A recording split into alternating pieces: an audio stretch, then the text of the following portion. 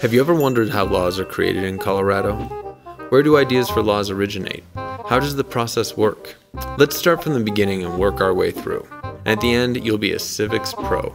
It all starts with the Colorado Constitution. Article 3 of the Colorado Constitution designates three separate and distinct branches of government the executive branch, the legislative branch, and the judicial branch. The General Assembly is the entity where bills are written, debated, and voted on to become law. The Colorado General Assembly has two chambers, the House of Representatives and the Senate. The House has 65 members and the Senate has 35, for a total of 100 members. The General Assembly is guided by the state constitution to meet 120 consecutive days, beginning no later than the second Wednesday in January. Historically, the General Assembly considers fewer than 1,000 bills, resolutions, and memorials during a legislative session. However, there are other ways to create laws in Colorado other than the General Assembly passing a bill into law. A law can also be created through the initiative process, where citizens circulate and sign petitions to place an issue on the ballot so Colorado voters can directly approve or reject an idea. The General Assembly can also refer a bill to the voters at a general election. If the voters approve, the bill becomes a law. This is called a referendum. But where do bills originate? Where do the ideas that become bills come from? Ideas for laws can come from anywhere cities, counties, state agencies, businesses, organizations, special interest groups, and individual citizens. If a legislator is approached with an idea, he or she can decide to sponsor that idea and request a bill be drafted by the Office of Legislative Legal Services. Every bill must have a prime sponsor from each chamber before a draft bill can be created. Once the initial sponsor approves the draft bill, the bill is delivered to either the House or Senate to be introduced. When a bill is introduced, it is assigned a bill number and assigned to a committee for public hearing. The title is read aloud by the reading clerk. This constitutes the first reading of the bill.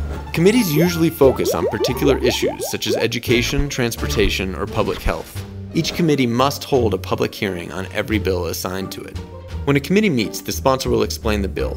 Anyone from the community can attend this meeting to voice their support, express concerns, or suggest changes. However, only committee members may offer an amendment that the committee can act on.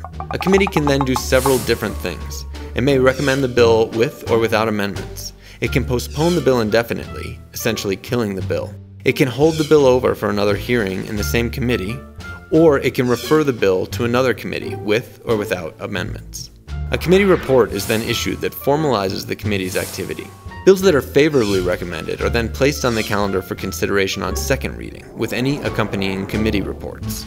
The second reading of a bill involves the entire chamber forming a committee of the whole, or COW, and there are no time limits on debate. Here, members debate the merits of the bill and may offer amendments. A voice vote is usually all that is required for approval, with the appointed chairperson of the COW determining the fate of the bill. However, a member may request a division vote where members must stand in support or opposition of the bill. If the bill is approved, then the bill and any approved amendments are combined into a new document that is called an engrossed bill. That bill is then placed on the calendar for third reading. Third reading is where the final debate and recorded vote on the bill occurs. If the bill is approved by recorded vote, the engrossed bill and any approved third reading amendments are then combined into a re engrossed bill. The bill then goes to the other chamber, where the same process starts all over again. When and if the second chamber approves the bill on second reading, it then becomes a revised bill. If the bill makes it all the way through the third reading in the second chamber, it becomes a re revised bill and is sent back to the first chamber, where any amendments made by the other chamber must be approved. Are you confused yet?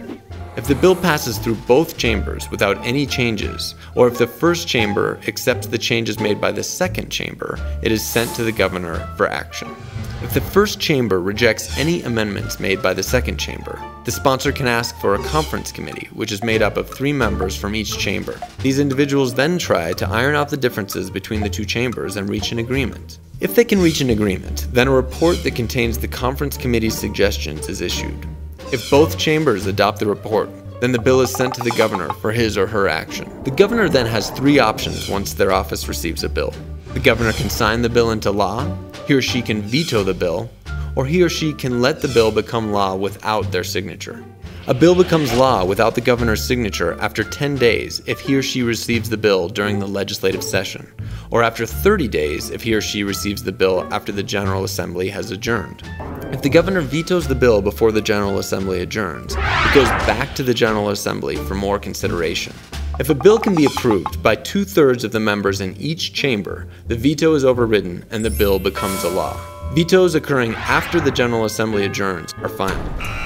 So that's it. That's how a bill becomes a law in Colorado. There are tools that can help you follow the process. The calendar, journal, and status sheet are ways to track bills and see when debates will occur. All of these documents and more are available online at the General Assembly's website, and additional information is available at the Colorado Channel website. Thanks for watching, and we hope that this program will help you become more informed about making law in Colorado.